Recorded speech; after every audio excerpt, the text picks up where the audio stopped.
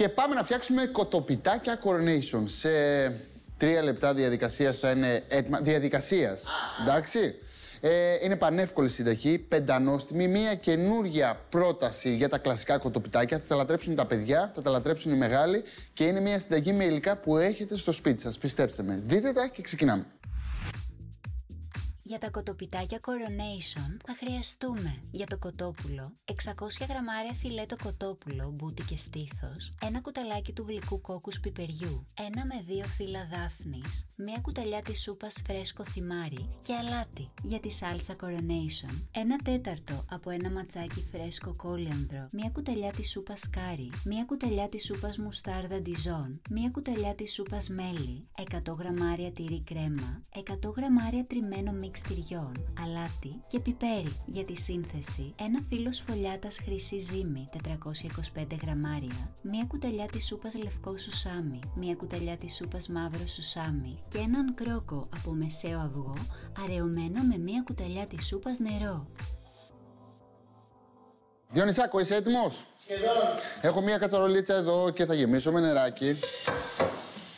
Γιατί; Ε, να βράσουμε το κοτοπουλάκι μας, ρε φίλε. Πρέπει να πούμε ακριβώς πώς βράζουμε το κοτοπουλάκι. Λοιπόν, αν και απλό σαν διαδικασία το κοτόπουλο να το βράσουμε, μερικές φορές την πατάμε γιατί δεν ξέρουμε πώς να το κάνουμε σωστά. Λοιπόν, θα πάρουμε λίγο κόκκους από πιπέρι. Δεν έχω εκεί, δεν πειράζει, θα βγάλω από το μήλο μου. Ε; Εντάξει.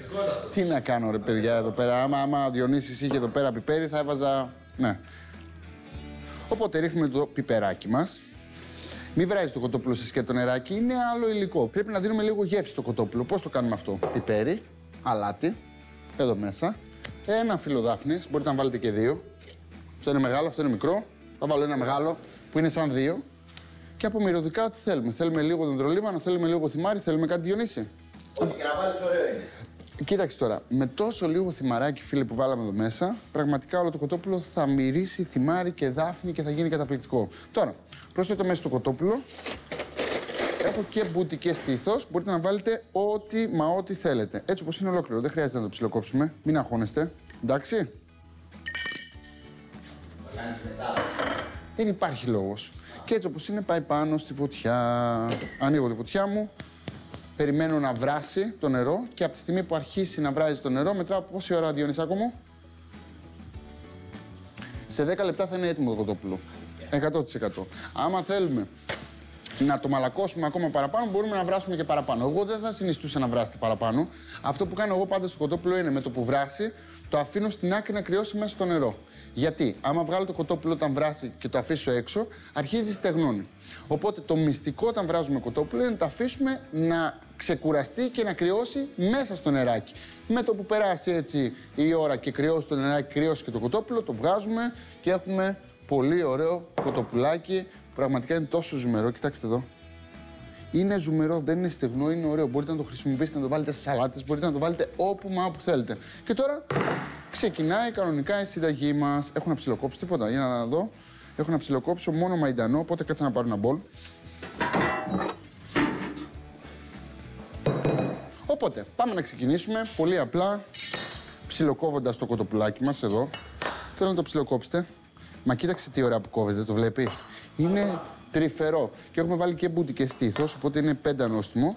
Έχουν μείνει και μερικοί κόκκι πιπεριού εδώ πέρα. Θα τους βγάλω. Έχουν κολλήσει πάνω στο κοτόπουλο, αλλά δεν πειράζει, είναι φυσιολογικό. Γίνεται. Το πατάμε. Ε, σε περίπτωση που βάλουμε λίγο κρασάκι εδώ μέσα, Διονύση, πώς ονομάζεται αυτό το ζουμάκι. Έλα, άμα το βρεις, θα σου δώσω 50 ευρώ. Πώς ονομάζεται αυτό το ζουμάκι. Άμα βάλω μέσα κρασάκι ή ξύδι, πώς ονομάζεται; Είναι το κλασικό ζουμάκι που βράζουμε τα ψάρια αυτό. Δεν ξέρετε, ε;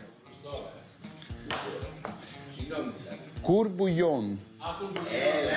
Ναι. Το ήτανε. Το, κουρ... το κουρμπουγιόν, να ξέρετε ότι είναι.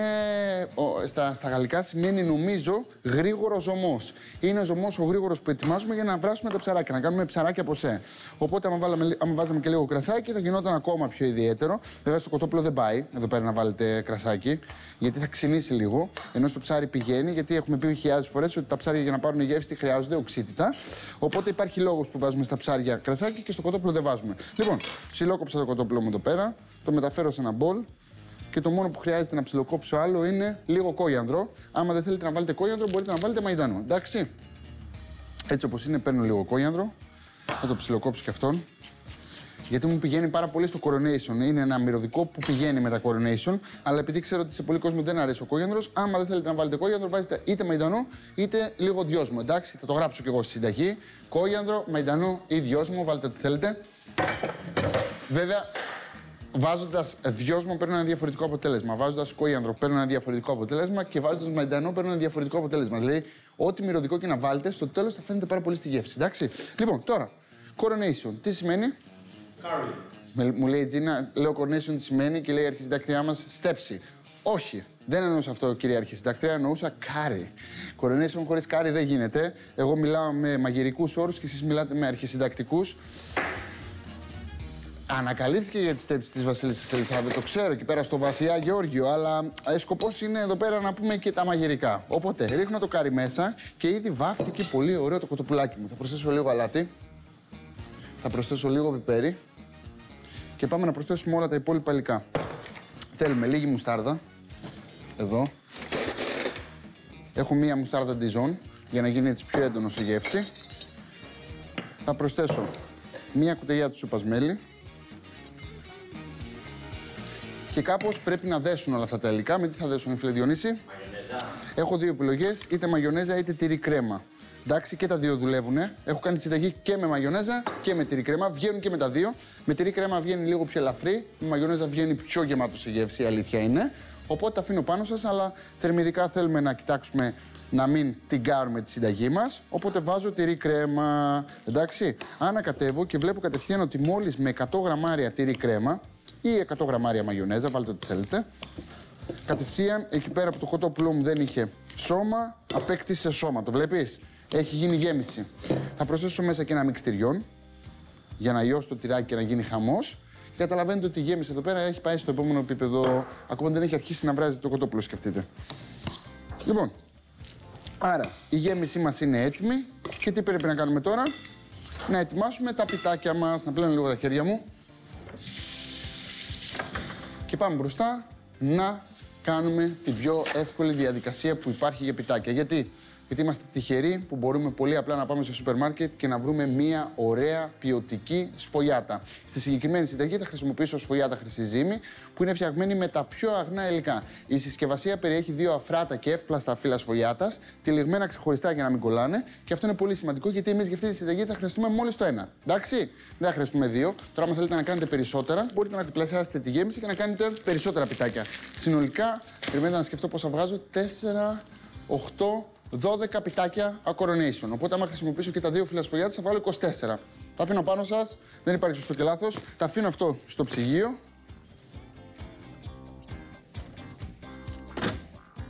Και πάμε να συνεχίσουμε. Καλά, αυτή τη συνταγή τη λατρεύω. Γιατί πραγματικά είναι μία καινούρια εκδοχή από τα κοτοπιτάκια. Δηλαδή, έχουμε συνηθίσει να τρώμε κοτοπιτάκια. Έχουν γίνει και λίγο βαρετά μερικές φορές, άμα κάνουμε ακριβώς την διαγέμιση. Οπότε αυτή η γέμιση είναι μια καινούρια πρόταση. Και νομίζω πραγματικά πρέπει όλοι μα όλοι να τη δοκιμάσετε. Λοιπόν, ανοίγω το φύλλο σφογιάτα.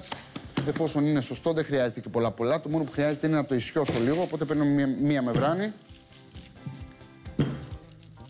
Ισιώνω και εγώ χρησιμοποιώ λίγο τη μεμβράνη που έχει από κάτω για να μου βοηθήσει να τυλίξω τα πιτάκια μου. Οπότε τι θα κάνω, έτσι όπως είναι, παίρνω ένα μαχαίρι, χαράσω στη μέση εδώ,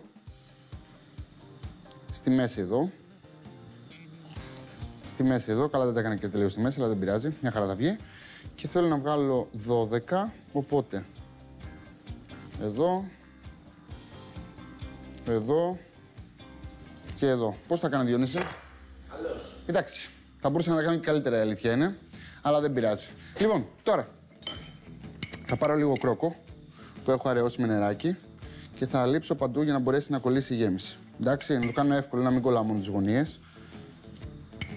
Βλέπετε πόσο λίγο βάζω. Δεν χρειάζεται να βάλετε πολύ. Γιατί άμα βάλετε πολύ, μετά είναι δύσκολο να κολλήσουν. Ε. Υπάρχει ούτε να ξεκολλήσουν να μου βάλουμε πολύ. Οπότε λίγο εδώ. Κοιτάξτε τι ωραίο που γίνεται. Παπ, παπ, παπ, παπ, παπ, παπ. Και το υπόλοιπο θα το κρατήσω για να λείψω από πάνω. Εντάξει. Λοιπόν, τώρα. Κοίτα Διονύση πόσο εύκολα είναι τα πράγματα. Παίρνω γέμιση. Βάζω εδώ, στη μέση. Και έτσι όπως βάζω στη μέση, τι κάνω; Παίρνω την άκρη από το πιτάκι μου, τη γυρνάω, πατάω και το πρώτο πιτάκι μου είναι έτοιμο. Θα πάρω ένα ταψί. Ε, θέλουμε να έχει γέμιση, ρε φίλε. Κάνουμε κοτοπιτάκια. Δεν μπορώ τα πιτάκια που είναι τσουρούτικα. Λοιπόν, παίρνουμε και ένα πυρουνάκι. Πατάμε λίγο την άκρη. Οπότε το πρώτο μας είναι έτοιμο. Ένα. Πάμε για το επόμενο, ακριβώς με τον ίδιο τρόπο. Πατάω. Και άμα δεν θέλετε να βάλετε και πυρούνι, κατευθείαν με τα χέρια ενώνουμε για να φαίνονται πιο ρουστικ. Τα βλέπεις; Εδώ.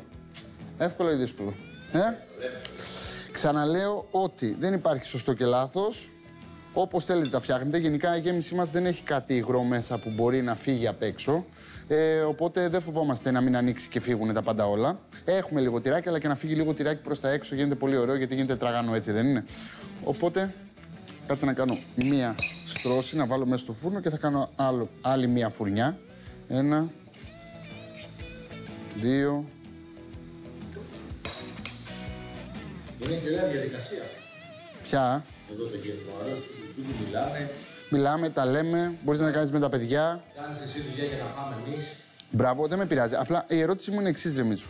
Αυτή η διαδικασία που είναι τόσο εύκολη και ας πούμε τα κοτοπιτάκια είναι κάτι που τρελαίνονται τα παιδιά, τους αρέσουν πάρα πολύ. Θα την έκανες ποτέ με το γιο σου; Βλέπετε, αυτό που έκανα με πυρούνι βγαίνει τέλειο. Απλά θέλω να σας δείξω ότι και με πυρούνι μην το κάνετε. Πάλι και αυτά τέλεια θα βγουν. Δεν τα φοβάστε, γιατί έχουμε τη σφογιάτα. Η σφογιάτα είναι το μεγαλύτερο cheat σε εισαγωγικά της μαγειρικής. Γιατί και να μην ξέρεις να μαγειρεύεις, η σφογιάτα από μόνη της, εφόσον είναι καλή, θα τα σώσει όλα. Γιατί η σφογιάτα στο φούρνο έχει την ιδιότητα να φουσκώνει, να παίρνει το χώρο της, γενικά να γίνεται τέλεια. Ε, οπότε και να μην το έχετε, σίγουρα η σφογιάτα θα σας δικαιώσει. Τώρα, έτσι όπως είναι, αυγουλάκι από πάνω ξανά.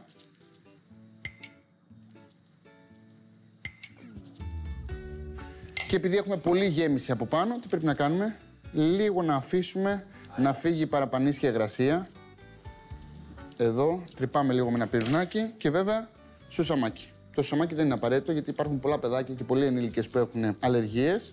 Οπότε γενικά να θυμάστε ότι μόνο όταν είστε σίγουροι ότι το περιβάλλον σας είναι ασφαλές, τότε βάζετε ε, σουσαμάκια και ξηρούς καρπούς. Άμα είναι να πάμε σε καλεσμένους σπιτάκια, γενικά τα αφήνουμε χωρίς σουσάμια, χωρίς ξηρούς καρπούς, γιατί υπάρχει περίπτωση κάποιος να έχει αλλεργία. Εντάξει; Λοιπόν, ο φούρνος μου είναι προθερμαζόμενος στους 190 βαθμούς. Θέλω ψηλά ψηλά ισχάρα, εδώ, το ταψάκι μου να περνάει ο αέρας από κάτω και σε 30 λεπτάκια θα είναι έτοιμα. Θα ετοιμάσω και τα επόμενα και μόλις είναι έτοιμα όλα όλα θα βγάλουμε να σερβίρουμε. Παρεπιπτόντως, το κοτόπουλο άρχισε να βράζει, τώρα άρχισε να βράζει, οπότε από τώρα που άρχισε να βράζει υπολογίζω 10 λεπτάκια. Και το πιο σημαντικό τι είναι Διονυσάκο μου, να τα αφήσουμε να κρυώσει μέσα στο ζουμάκι.